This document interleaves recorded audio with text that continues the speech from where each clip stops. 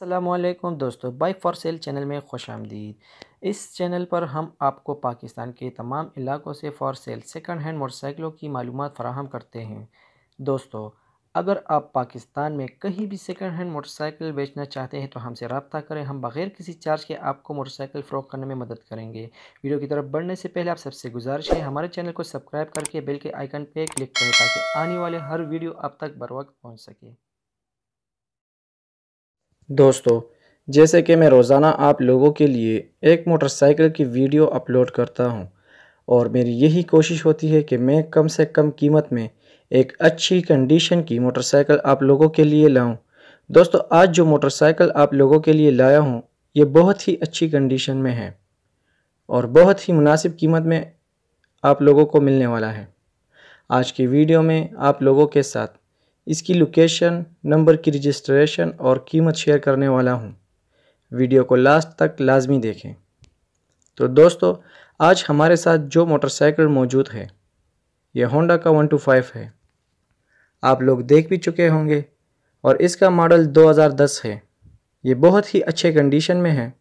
सबसे पहले इस मोटरसाइकिल के टेंकी टापों के बारे में बात करते हैं। तो दोस्तों, इस मोटरसाइकिल के टैंकी टापे चेंज हैं। जो लगे हैं वो काफ़ी बेहतर हैं।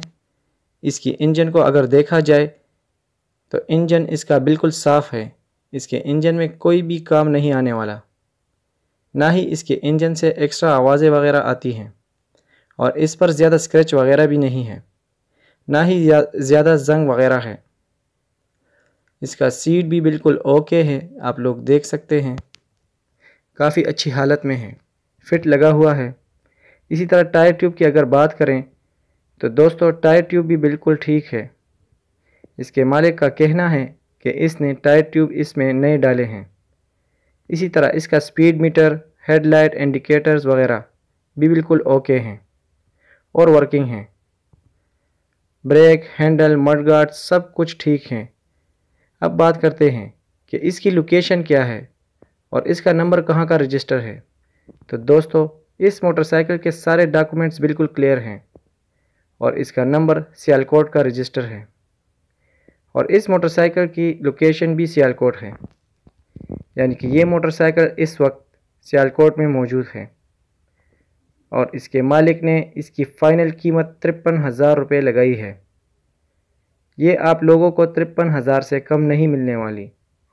अब बात करते हैं कि आप लोग इस मोटरसाइकिल को कैसे परचेज़ कर सकते हैं और इसके मालिक के साथ कैसे रब्ता कर सकते हैं। तो दोस्तों, इसे परचेज़ करने का बहुत ही आसान तरीका है। बस इसी वीडियो की डिस्क्रिप्शन में इस मोटरसाइकिल के मालिक का नंबर मौजूद है। आप लोग आसानी से इनसे रबता करके इस मोटरसाइकिल के बारे में मज़ीद मालूम भी हासिल कर सकते हैं और इसकी डील पक्की करवा के इसे परचेज़ भी कर सकते हैं। दोस्तों, अगर आपने बाइक फॉर सेल चैनल को सब्सक्राइब नहीं किया तो अभी सब्सक्राइब करके बेल के आइकन को ज़रूर प्रेस करें, ताकि आने वाली वीडियोस आसानी से आप तक पहुँच सके। हमारी वीडियोस आपको कैसी लगती हैं, वीडियो के कमेंट सेक्शन में अपना फीडबैक ज़रूर दें, ताकि मज़ीद बेहतर वीडियो बनाई जा सके। अगर आप भी मोटरसाइकिल बेचना चाहते हैं तो हमें अपने मोटरसाइकिल की तफसील मुहैया करें। हम आपके मोटरसाइकिल की बर फ़रोख्त की वीडियो बनाकर इस चैनल पर अपलोड करेंगे।